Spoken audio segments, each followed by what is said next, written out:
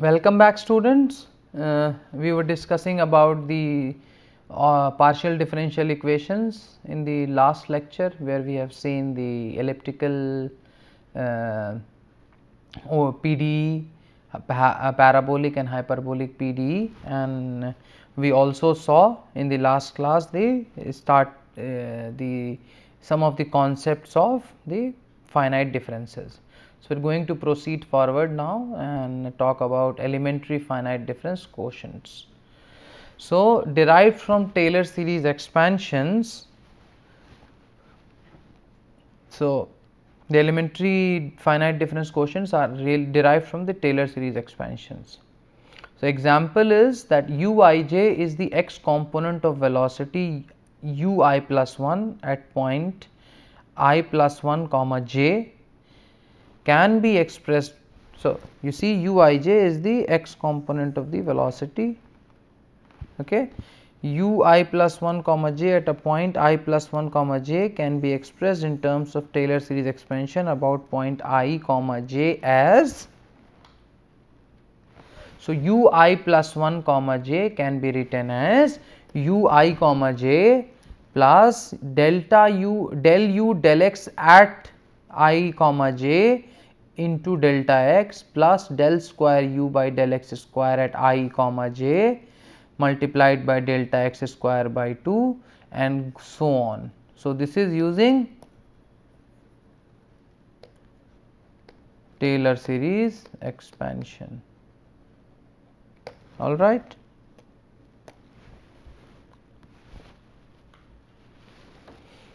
So, this actually can be truncated after finite number of terms.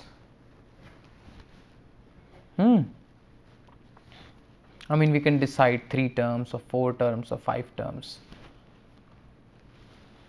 So, we can actually we have decided to truncate it after 3 terms. So, ui plus 1 comma j can be written as ui comma j plus del u del x multiplied by delta x del square u del x square into delta x square by 2 and these are evaluated at i comma j both of these terms. So, this equation is second order accurate because we have a square term del square u by del x square.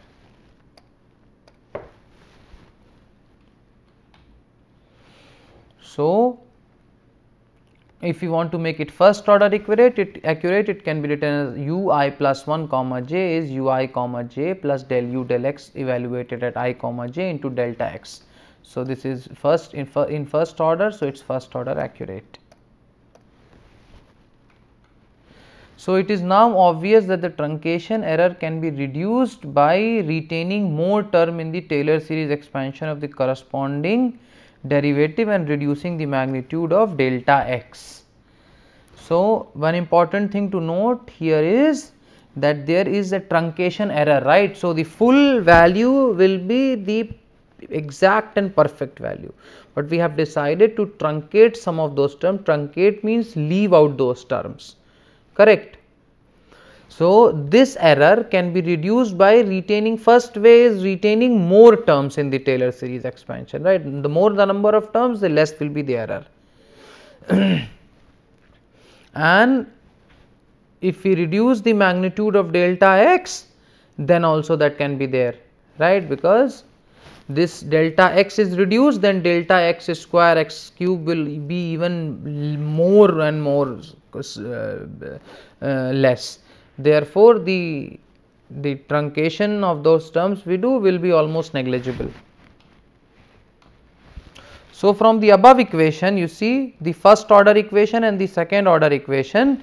If we write we can evaluate del u del x at i comma j which means del u u of i plus 1 comma j minus u of i j divided by delta x plus truncation error whatever we have left out. Okay so this is actually called the first order forward difference. Forward because we have i plus 1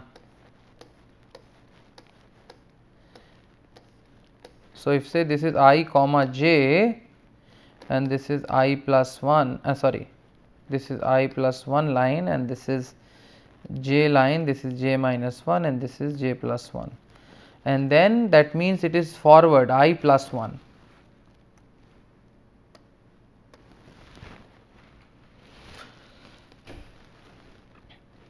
Similarly, we can also write del u del x i comma j in the backward direction that means u i comma j minus u i minus 1 comma j by delta x plus whatever the truncation error is and this is called the first order backward difference. So, now you understand the difference between first order far forward and first order fine the first order backward difference. So, in the uh, forward we have i plus 1 minus i and in the backward we have i minus i minus 1. So, i indicates the indices at the grids alright of the grids. There can be another way where you can actually you know so let us say this is i this is i minus 1 this is i plus 1 so you can just do this one dead okay? So first write the equation between these two points then write between these two points and subtract. This is what we have done here you know? So this actually gives the difference between ui plus 1 minus ui minus 1 you see? And then it will be divided by 2 delta x because the length between this is delta x and this is delta x. So this total becomes 2 delta x. So, this is another way and this is called the second order central difference because we are calculating what were we calculating again drawing this is i comma j this is i plus 1 comma uh, i sorry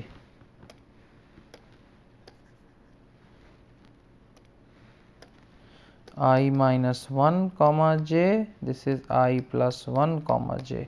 So, we are actually calculating d del y by oh,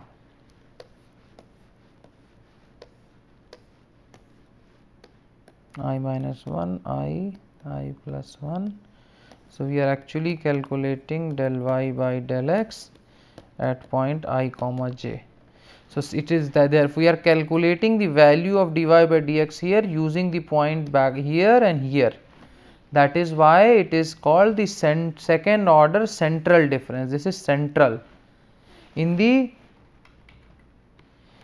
backward, you see we are calculating at i using the one there minus the one at the back. Here we are calculating at i using the one in front minus the current one all right.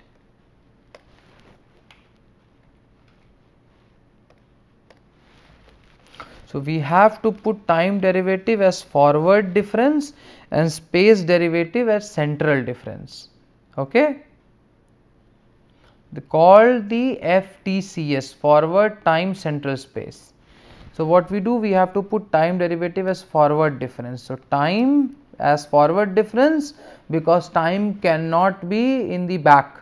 So, we will always have to be forward and for the space we use central difference that is the most standard practice and this is called as FTCS forward time central space alright. So, you are expected to know these terminologies what FTCS is, what is forward difference, what is backward difference, what is central difference uh, in for time derivative which is used for space which is most commonly used.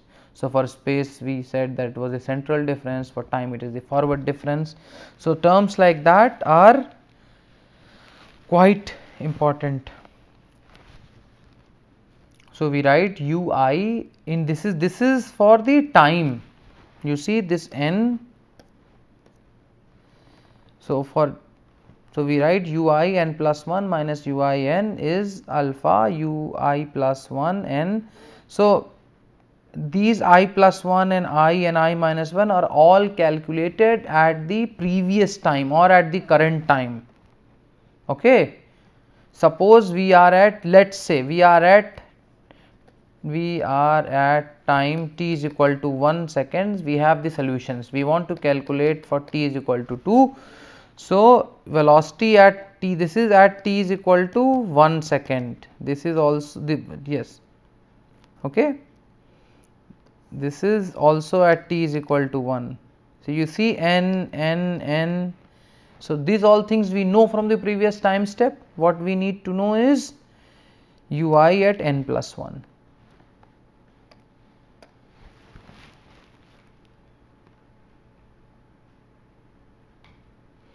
So, there is a term called consistency now. So, what actually is consistency? So, a finite difference representation of a partial differential equation is said to be consistent if we can show that the difference between the PD and its finite difference representation vanishes as mesh is refined. So, this uh, in, a, in a different word if this representation of a, I mean see we, we said that we are going to represent partial differential equation in an algebraic form correct.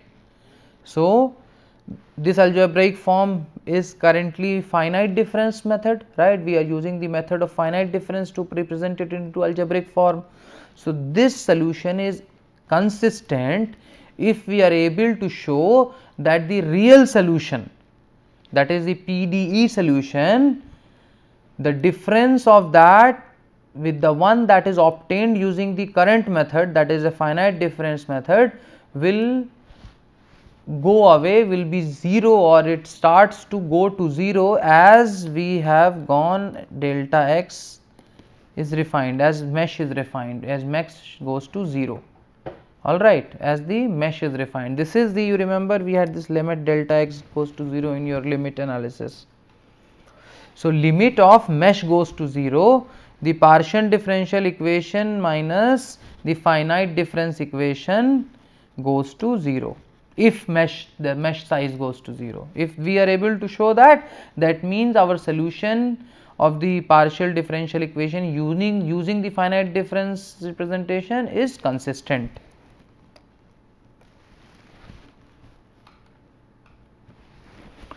There is another term called convergence. So, the solution of the algebraic equation that approximate a partial differential equation same thing okay, is convergent if it approaches the exact solution of the PDE for each value of the independent variable as grid spacing tends to 0. Okay.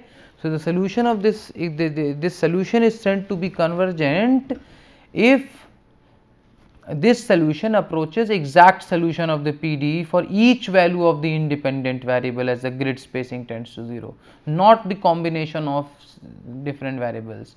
If for each an individual for each x and y for example x and y are the independent variables or for each of these x and y this should converge to the real original solution of the PDE then that means the solution is convergent.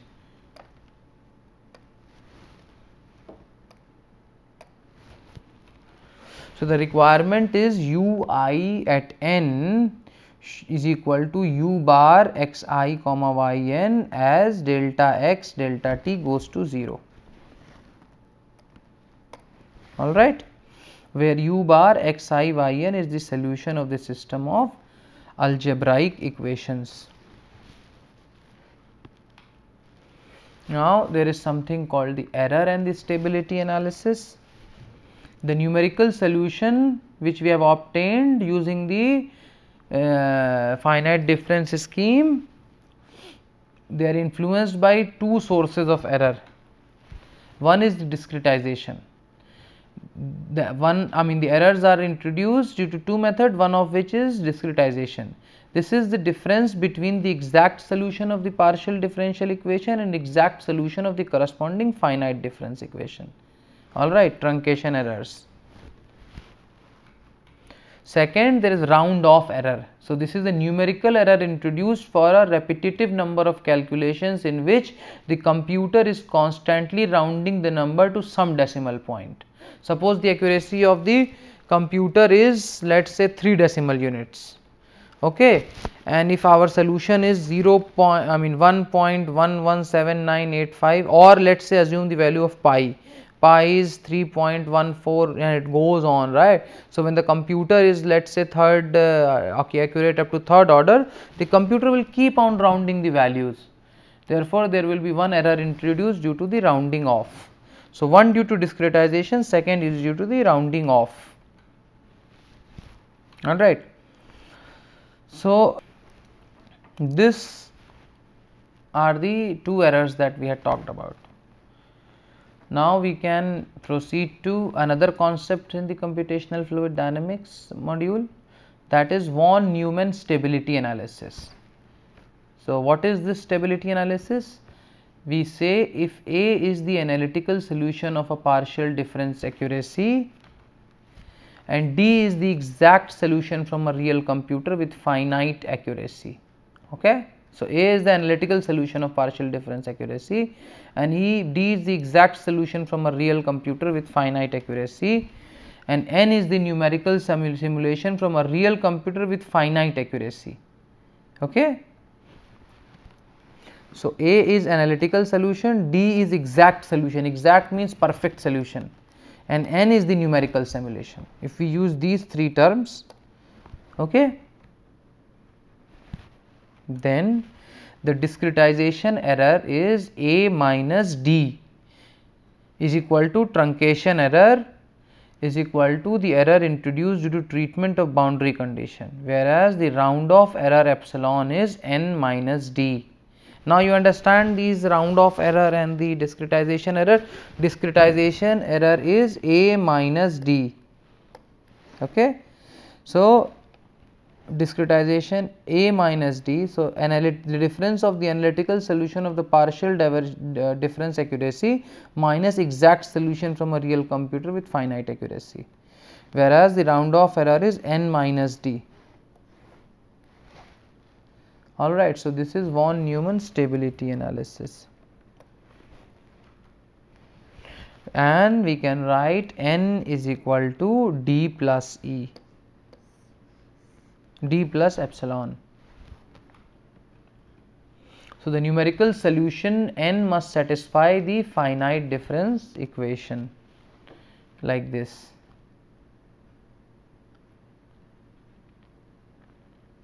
All right. And d is the exact solution of the finite difference equation hence it exactly satisfies this one a and b right? A was the finite difference. In the first page that we saw a. You see this is a. D is the exact solution of the finite difference equation and it exactly satisfies this. So n will satisfy both. So if we perform a minus b so, epsilon of n plus 1 minus epsilon i of n delta t will be written. So, from this equation we can see that the error also satisfies the difference equation. For stability the errors must shrink from step n to n plus 1. So, the mandatory condition is epsilon i of n plus 1 divided by epsilon of i at time n must be less than 1 because it is supposed to decrease. If assume that the distribution of errors along the x axis is given by a Fourier series in x and the time wise distribution is exponential in t, then we can write epsilon x comma t is e to the power a t so, this is the equation using which it is driven. Alright L is the unit complex number. Alright or I capital I and K is the wave number. This is very complex. Since the behavior of each term of series is same as the series itself hence let us deal with just one term of the series and write so, we deal see there are lot of term in this series right? E A T is the sum of E I K M X. So, we just you know use only one term. And we write E of M x comma T is E to the E to the power A T E to the power I K M X. And if we substitute this equation in the error equation you see that error equation that we had got this was the error equation. And if we substitute this in the error equation we are going to get e a complex equation like this. All right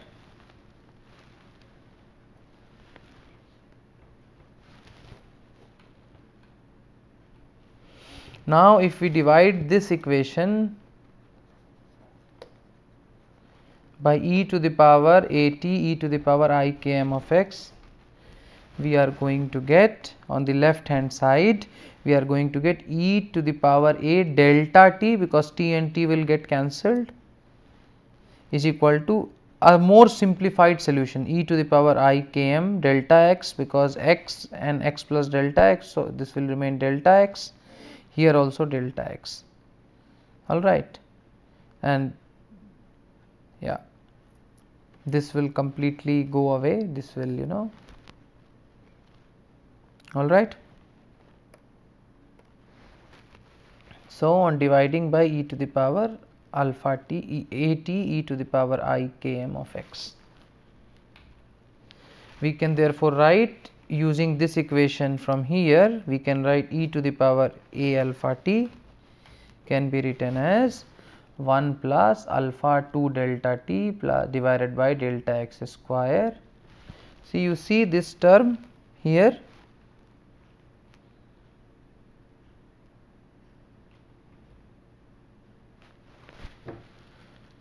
Okay.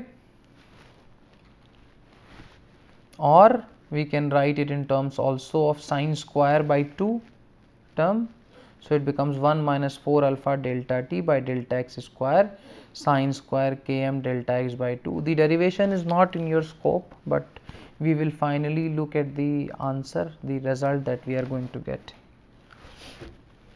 Therefore, we can write this e to the power n plus 1. See, we have got e to the power a delta t. Therefore, this error we can actually write e to the power alpha t plus delta t into e to the power i kmx divided by e to the power a t e to the power i kmx is equal to e to the power a delta a delta t. So, this equation must be satisfied for stability.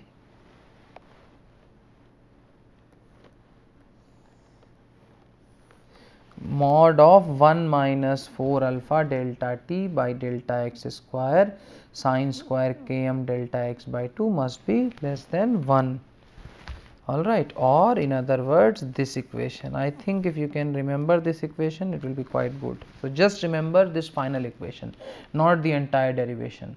But you should be able to follow what has been done from the lectures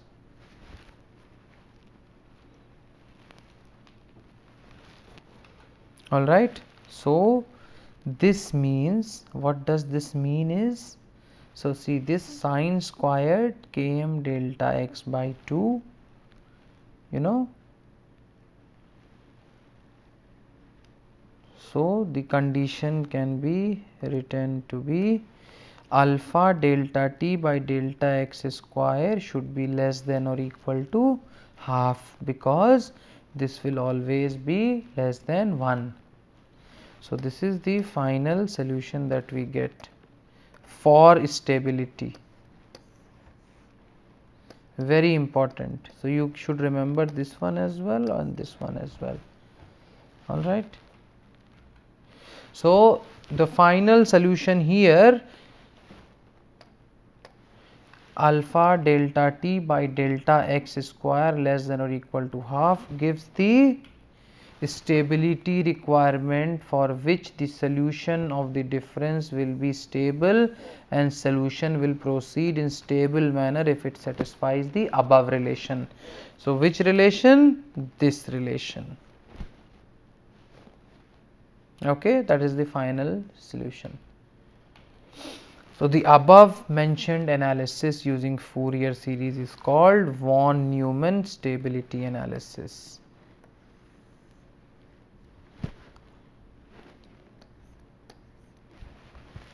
You must be in principle knowing what is von Neumann stability analysis. So, using this we are actually going to you know until the the concepts which we have learned till now we are going to you know solve this uh, one question using this now okay so the question is classify the steady two dimensional velocity potential equation which is 1 minus m square phi xx plus phi yy is equal to 0 when m is less than 1 and secondly when m is greater than 1 and third when m is equal to 0. So, like always we are going to use the white screen for this. Okay. So, solution 2 all right. So, first we write down what is given to us 1 minus m square into phi xx plus phi yy is equal to 0 all right so therefore a is equal to 1 minus m square. So you remember that we said discriminant of b square minus 4ac we have to calculate. You remember that part? Okay. Here there is no b but c is equal to 1 all right. So i'll uh, let me take you to that because that is quite important thing to you know see a f x x plus b f x y plus c f y y plus d f x plus e f y plus f f is equal to g. So let me just quickly just yeah here. So you you see our equation right? It is i'll write down here. So, it is 1 minus m square f x x. Instead of f x x we write f phi x x plus there is no phi x y. So, 0 into phi x y plus c is 1 into phi y y we have plus there is no only f phi x. So, we just write 0 into phi x plus 0 into phi y plus 0 into phi is equal to 0 that is the so when we write down what we say a is 1 minus m square and b is 0 okay? And c is 1 because only these three terms are being used in the discriminant because So, you see the classification depends on b square minus 4 ac right? Good. So, see we have to classify the steady two dimensional velocity potential. All right? Very good. So, I think uh, mm, I think it would be better if we start doing this problem in our next class because uh, otherwise uh, this is a slightly long problem and needs little bit more detail Uh, to solve. So, I think I will end the class today here and we start with the solution of this question in our next lecture. Thank you so much.